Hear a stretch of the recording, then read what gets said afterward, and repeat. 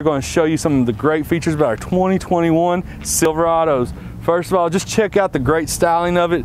Four-wheel drive, it's got great wheels on it. These are some of my favorite wheels right now. Of course, being an LT, it's got the chrome grille. It is a Z71, so it's got four-wheel drive, skid plates, you know, upgraded suspension.